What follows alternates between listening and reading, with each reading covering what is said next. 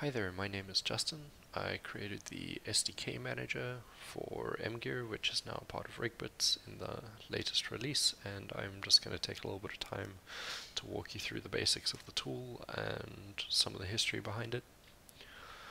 Off the bat, um, I, I, learned the, the method from Judd Simantov with uh, his way of working with set driven keys and creating facial rigs using that. Um, it's a very joint-based approach with a little bit of blend shape thrown in here and there. Um, and, and, this tool is primarily constructed to aid in, in that workflow.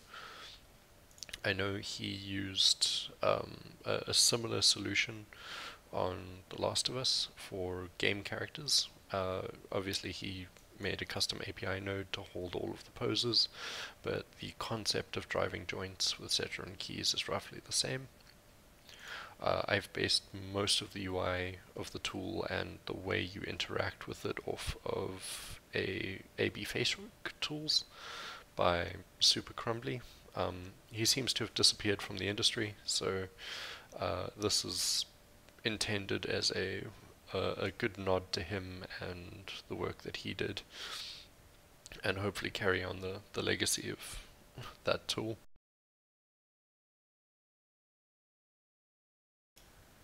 Cool, so we have a fresh Maya scene over here, and inside Shifter you'll see there is a new control called the SDK control. Um, pretty much the same as control 01, um, but this is specifically used for the uh, SDK manager. So if I build this quickly, you'll see uh, that we have a, a, little setup here. Um, it's a standard control, but suffixed with SDK, and then a normal control, and a joint in the very center of that. And the essentially the basic principle is that you'll have a driver control and then you will set your own key onto this control. And then um, if an animator wants to tweak anything uh, they'll have access to this guy over here but we'll get a little bit more into that later.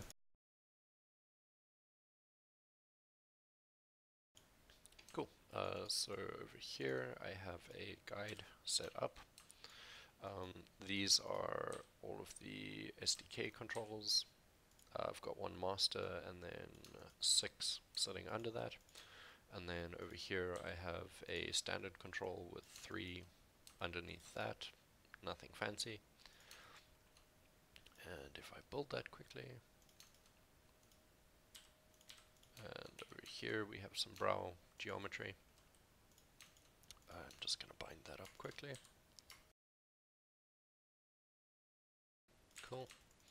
Um, so close that. the the tool itself can be found under the MGear menu, Rigbits, and SDK Manager. I would like to very much stress that this is a beta tool and very much a work in progress.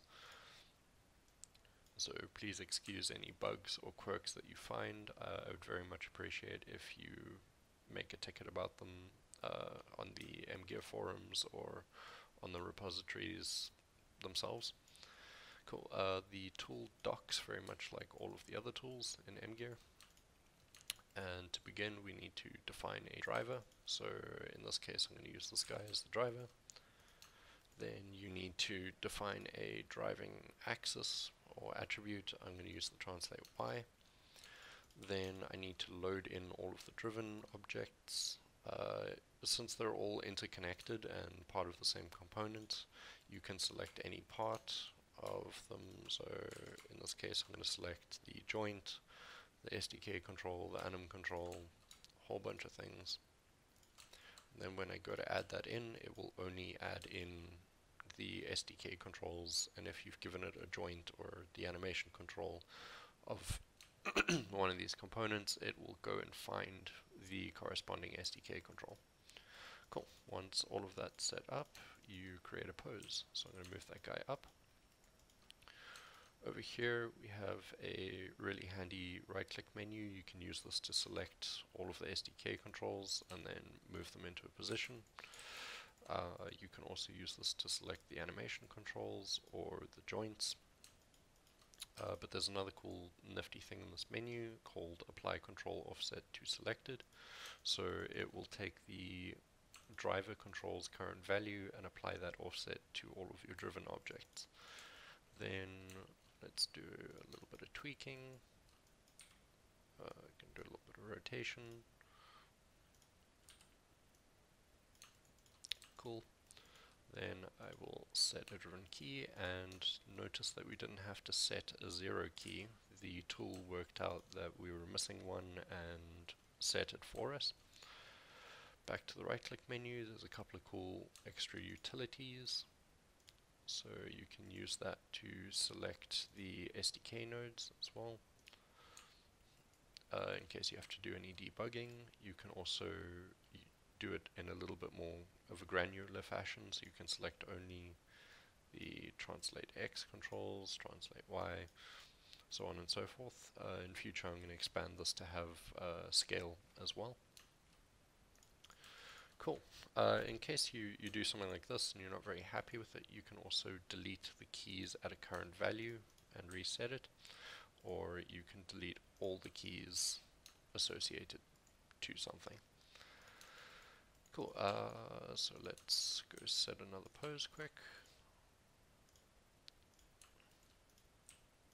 Uh, do up and down.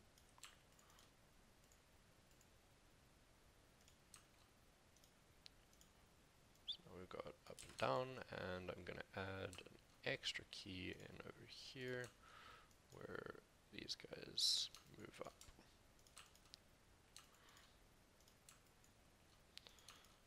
So if we go through the range, uh, these buttons down here will allow you to step through it. So this will be your zero key, that will be the next key and the key after.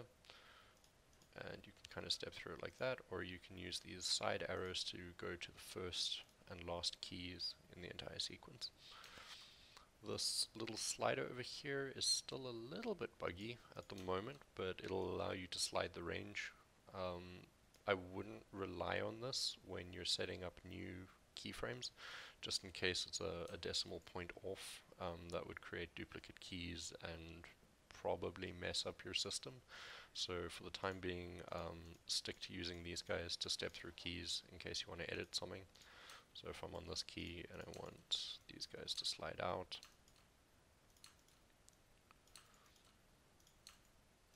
then I, I can be 100% certain that I've edited the right key at the right place. Cool. Um, then uh, stepping down to here, these are actually save slots. So, for example, if I want to save a pose, uh, let's say this one, I can select the SDK controls and hit that button over there, zero this out. If I hit the button again, it will apply that pose information onto these. Um, now that I've got it in a pose, I can also walk you through the reset menu. Uh, so I can reset all of the SDK controls, all of the anim tweaks, or everything. So I'm just going to reset that, and I can reset it. Uh, if I want to clear this pose out, I think you hold control. Yeah, uh, if you hold control, it'll just clear out that slot, and you can use it again for something else. It's very handy when you're iterating over a couple of poses. Uh, what else haven't we touched on here? Oh, yes, so these checkboxes, if you don't want to key all of the rotate channels on the boxes over here, all you have to do is tick it off and then it won't key rotate. Uh, if you're not rotating a controller, you don't need that. That can help lighten up your rig uh, this checkbox over here will filter the drop down menu so that it will only display items that have keys attached to them.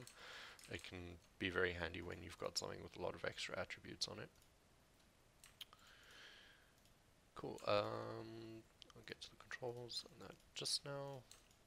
Uh, for now, the, the mirroring is, is very limited, um, so these aren't actually active yet, but we'll get there.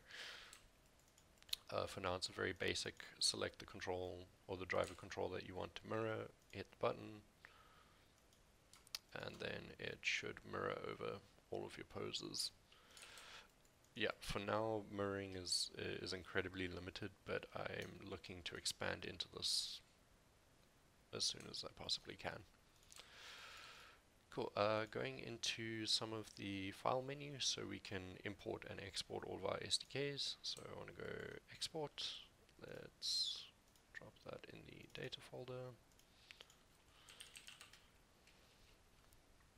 And we can save. And remove my rig, rebuild, file import, and that should rebuild all of my SDKs exactly as they were. Uh, so this fits directly into MGear's data-centric way of doing things, where you can take all of your data out out of Maya and get it back in. Cool. Uh, let's go through what else we got here. Uh, so this is just a utility for selecting things. So you can select all of the SDK boxes, all of the anim controls. Selecting these guys in the moment. Uh, yeah, so these are the animation tweak controls. And then you can select all of the joints as well. And then all of the SDK nodes. Under the tools menu, there's quite a lot going on here. Uh, you can toggle infinity uh, on the, the key itself. So if I go to the graph editor,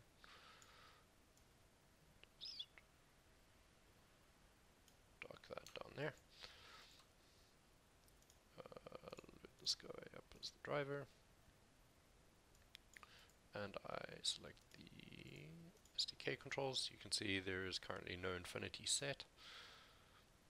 Uh, select those guys again, and we can set pre-infinity and post-infinity. And there you go. Easy as that. Uh, I'm just going to turn that off. oh wait, sorry. Uh, you do need to have the SDK controls selected when you hit that button, uh, based off of your selection. Uh, you can also set the tangent type, both in and out. I prefer linear for when I'm working, but uh, if you find the need, you can always change that up the auto set limits and remove limits. This is a work in progress. Um, by the time it's done, uh, it will be able to get your highest key and your lowest key and then set limits on this control um, in case you want to limit off all of the the range of motion on this control.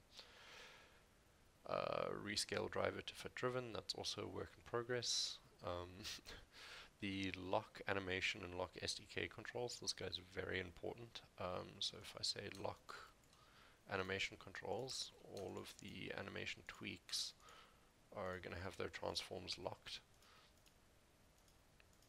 There we go. Cool. Uh, so that's going to lock those off so you don't accidentally bump them out of place uh, while you're working, because that can be very, very bad. Um, so I would recommend while you're busy rigging, uh, you just lock them all off, and then before you hand it off to an animator, then you just unlock them. Uh, and then vice versa, so the SDK controls, while you're working, keep them unlocked, and then when you hand them off to the animation team, just lock them away. Probably hide the shape nodes as well, just so no one can mess with those and potentially break the rig uh, prune SDKs with no input or output. Uh, I had a problem sometimes where I would get a uh, animation curve node that had no input or output, um, only one of them, and that would clutter up the scene. So this will just go in and delete anything that it finds. Cool. Uh, let me remove the graph editor, get some space up in here. Cool, that's everything on the tools menu. Uh, reset menu we've touched on. Uh, this is just to reset your controls. The help will take you to an about page.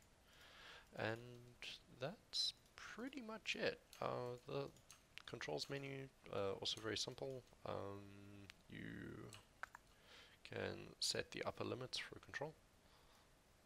And that's all it is. Uh, and then you can set your lower limits. Or you can hit that and that will unlock your limits.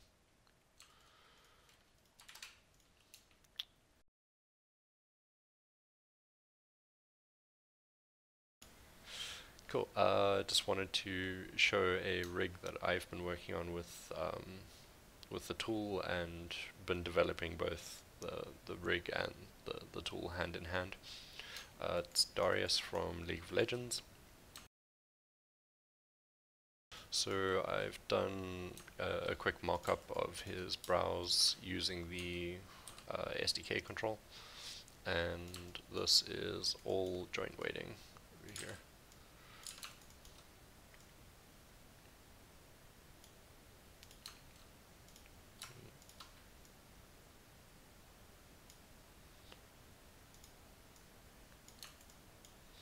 Uh, I've uh, also done the eye setup just using those controls.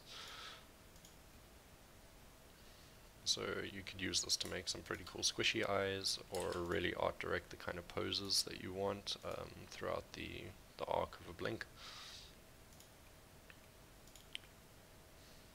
Yeah, and that's that's it. cool. Thanks. Thanks for watching.